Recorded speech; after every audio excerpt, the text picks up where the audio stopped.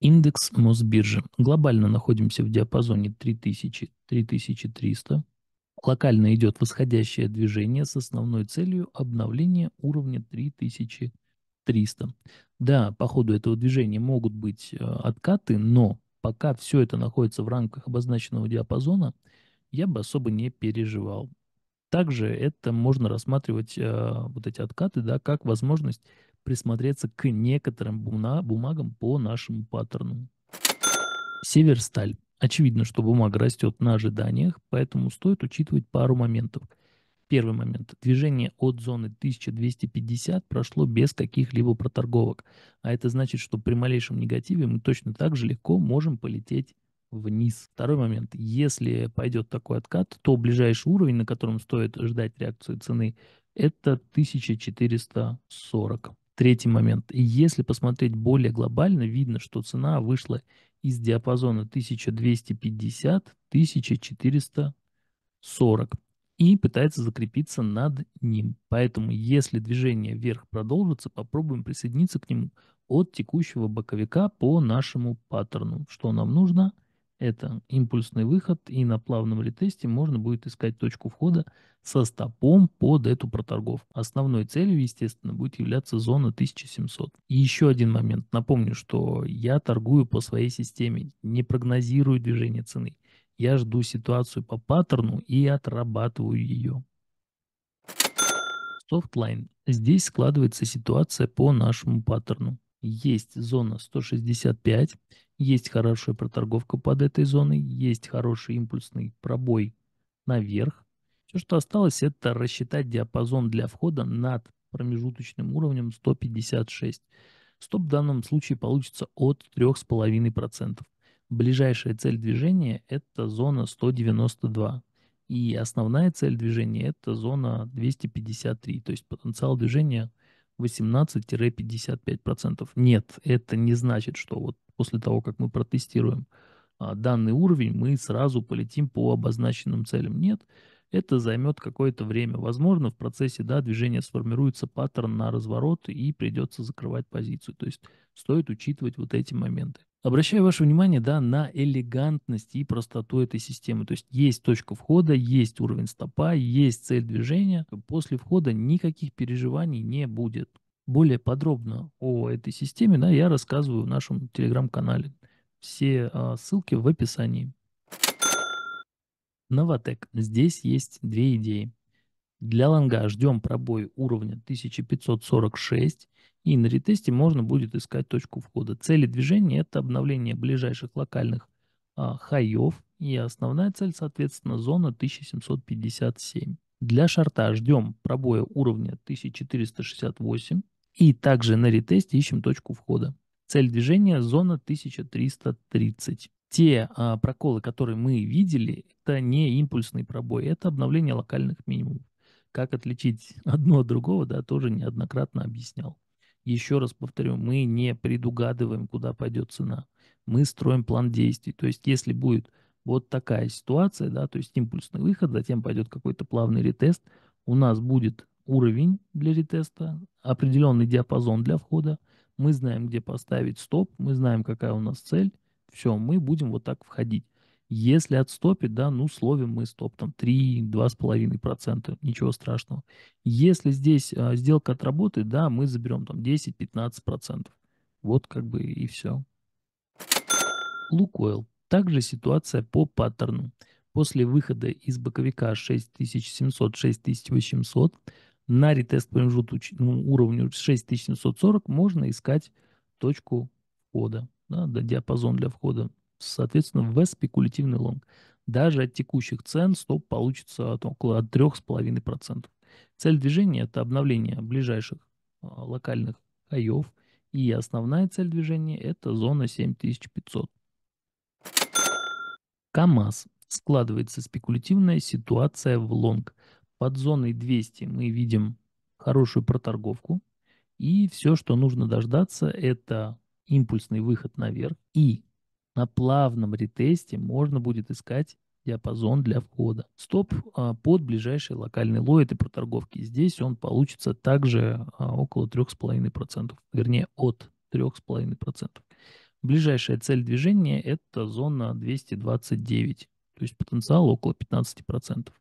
Заранее в сделку да, на ожиданиях вот такого движения заходить не стоит. Посмотрите на вот эту шпильку, да? Вот, то есть она явно показывает, почему этого делать не стоит.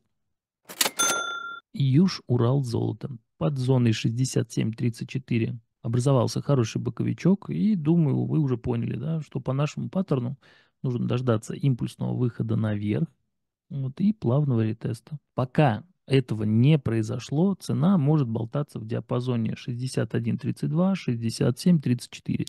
То есть лезть пока не нужно.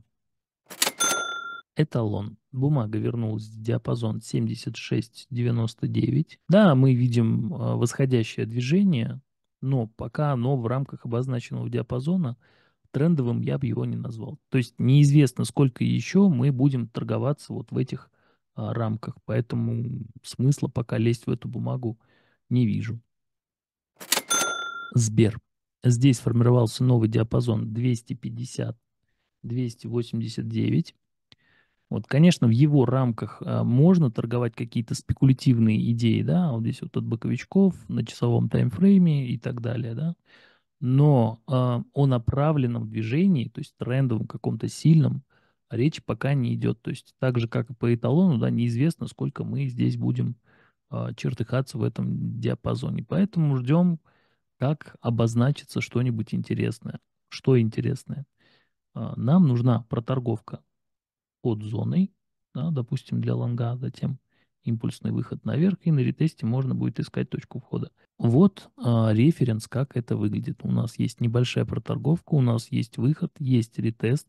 Принципе, если вы посмотрите старые записи, да, которые а, были на обзорах, я говорил, что ниже 258 можно все выкупать. Какая цель? Цель здесь была а, зона 277, по-моему. Вот, вот этим движением мы ее обновили, вот, и обратно, вернее, расширили этот диапазон и начали опять торговаться вот в нем. Соответственно, пока мы торгуемся в боковике, э, ловить в бумаге какие-то движения не стоит.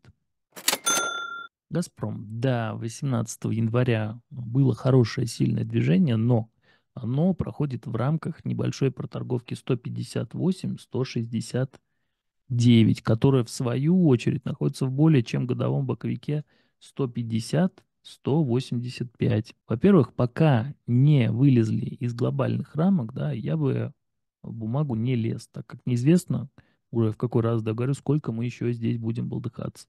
То есть посмотрите, перейдите на 4-часовой таймфрейм, на дневной таймфрейм и посмотрите на график бумаги. То есть где здесь какая логика покупки, какая логика продажи, ее здесь нету.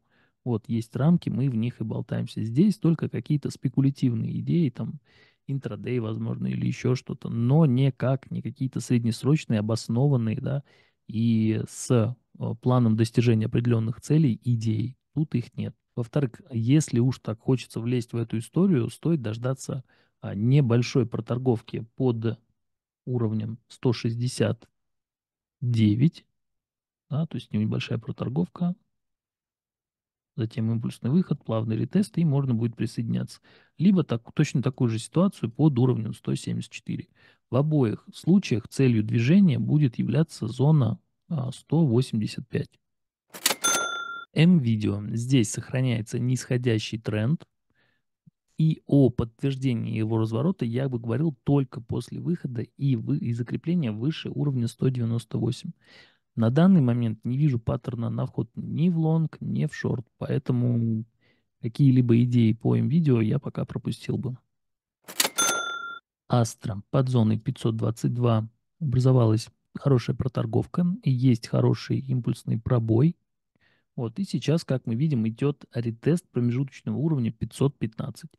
От текущих значений можно искать точку входа. Стоп а, вариативный от 2,5% до 5,5%. Вот, если хочется зайти понадежней, можно подождать импульсного выхода уже из новообразовавшегося боковичка. То есть сейчас не лезть, подождать, когда повторится такая же ситуация, то есть будет импульсный выход наверх, плавный ретест этого боковика, и, соответственно, можно будет а, присоединяться к этому движению. Цель движения здесь это обновление хая на уровне 550, затем зона 651. То есть потенциал движения около 7-26%. Совкомбанк. После начала торгов на бирже бумага обозначила диапазон 12.32-14.89 а, в коем пока и торгуемся. Для того, чтобы принять решение о входе в сделку, нам нужна проторговка рядом с одной из обозначенных границ. Поэтому пока просто ждем, а, как сложится эта ситуация. По Сагра под зоной 7000 есть хорошая проторговка, которая длится с сентября прошлого года. И на самом деле я очень жду, когда будет выход из нее. Почему? Есть тезис, что чем дольше длится проторговка, тем сильнее будет движение при выходе из нее. Поэтому периодически поглядываю на бумажку, да, и жду, когда это произойдет. Причем неважно в какую сторону. Главное, чтобы, чтобы перед пробоем была небольшая а, проторговка, боковичок, да, от которого можно было бы оттолкнуться по паттерну. То есть уже как не раз объяснял, небольшая проторговка, импульсный выход наверх и на плавном ретесте ищем точку входа. Все. Также хочу добавить, если а, будет импульсный пробой, но затем ретеста не последует, а бумага полетит дальше, ну и пусть летит, ничего страшного. Есть другие бумаги, а, в которых эта же идея может сработать. То есть тут а, это не аксиома, вот это, да, паттерн. Это просто паттерн. То есть мы видели большое количество раз, когда эта ситуация повторялась, вот, и на таком моменте ретеста мы входили в сделку и забирали поставленные цели. Просто нужно переключиться и искать другую идею, а не переживать, что в этот раз что-то не получилось. Иркут. Если вы пришли на рынок недавно, я бы рекомендовал вам воздержаться от каких-либо действий по данной бумаге, так как а, она очень волатильна и, как следствие, здесь очень большие риски. Для любителей экстрима под зоной 92.55 у нас есть небольшая проторговка, поэтому, как обычно, ждем импульсный пробой на плавном ретесте к промежуточному уровню 90, можно будет искать точку входа. Цели – это обновление ближайших локальных хаев, и основная цель – это зона 162. Сигежа – одна из бумаг, в которой в любом случае я бы воздержался от каких-либо действий. Почему? Любая новость здесь воспринимается гипертрофированно. Как следствие – никакие стопы не уберегут здесь от сквизов. Пока оставим бумагу в покое, пусть э, поторгуется, и желательно, чтобы про нее все забыли. И как только сформируется наш паттерн, да, можно будет к ней вернуться.